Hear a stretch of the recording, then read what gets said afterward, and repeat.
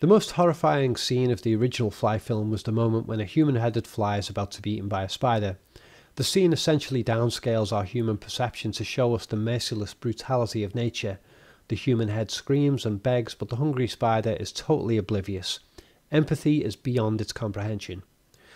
This horrific fate is the stuff of nightmares to us, but it's as much a part of reality as anything else in our understanding.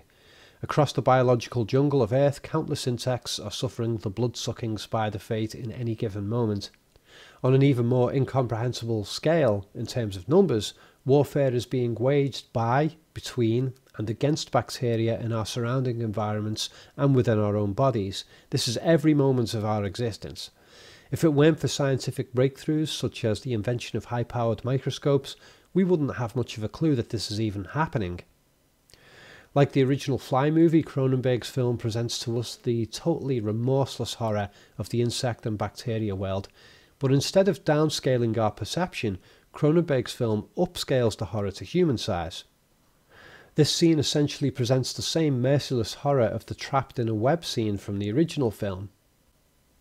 Essentially, much of the competition between species in nature amounts to a question of finding food, whether by carnivorous or omnivorous means, while avoiding being eaten yourself. Common houseflies aren't murderous creatures to my knowledge, but brundlefly is made to represent nature's insect predators anyway.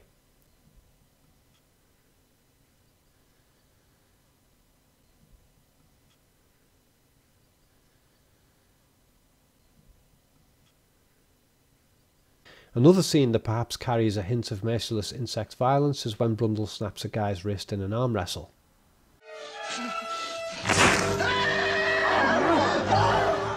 A very interesting change to the story that could have been made would have been to have Brundle be confused with, say, a spider instead of a fly, or perhaps be confused with a, a wasp or something like that, thus having a much stronger violent edge than a housefly but perhaps that would be too horrific and would break us away from our empathy with Brundle. In fact, I do wonder if a deliberate comparison with spiders is being made here.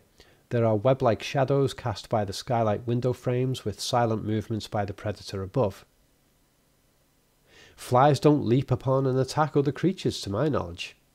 Brundle also makes his first clearly non human vocal expression of the film, indicating that the insect has taken over for this moment. Beyond the overt scenes of violence, the fly conveys its theme of genetic small print displayed in large font in other ways that are more subliminal. The colourful opening sequence of blob like shapes floating in and out of each other looks like something we might see through a microscope, assorted cellular organisms in different colours competing with each other for dominance. At the end of the titles, this footage becomes a shot of humans walking about in a crowded room. It kind of looks like thermal imaging because we can actually see human leg movements among the footage from time to time. But regardless of the technical approach, the sequence presents the scaling theme of the film. The dark reality of microbes being upscaled to human size, perhaps even a statement that for all our complex social and behavioural sophistication, we still are essentially the same as the microbes and fingernail sized creatures from which we evolved.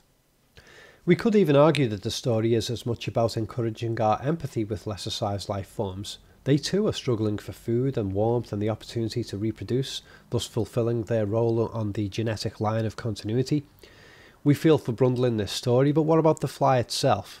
Brundle has intellectual conception of his genetic tragedy, but the fly is taken out of the instinct driven, almost mindless simplicity of its existence and finds itself in the infinitely more complex reality of a human mind and body.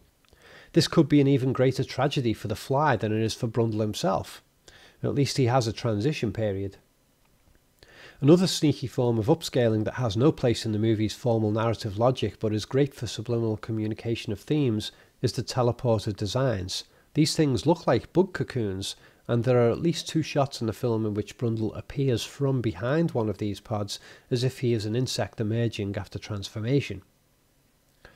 They're round, black, and have ribbed features like insects. In fact, there's a clue in the name that Brundle has given these devices. I call them telepods.